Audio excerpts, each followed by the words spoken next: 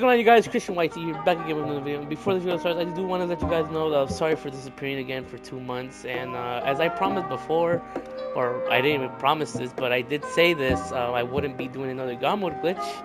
But this one's easier than the last one. Uh, what you're really gonna need for this is an Avenger, a friend, and a car of your choice. Now, what you guys are gonna need to do is get in the car of your choice and put it as close as to the Avenger door as possible so you see that alert right there. Please enter the Avenger. Now tell your friend to invite you to the Avenger. Or to the apartment, sorry. Once you accept the apartment, accept the alert, and then spam right on your D-pad as fast as you can.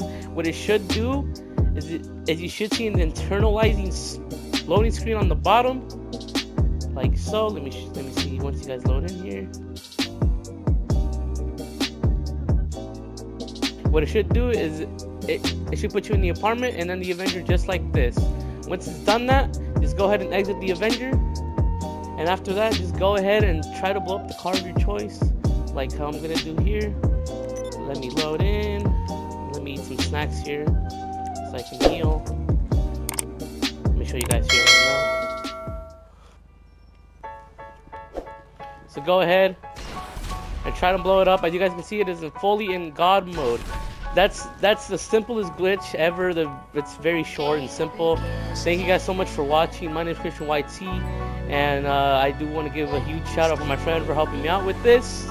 So thanks to you, my boy, and I'm out. Peace.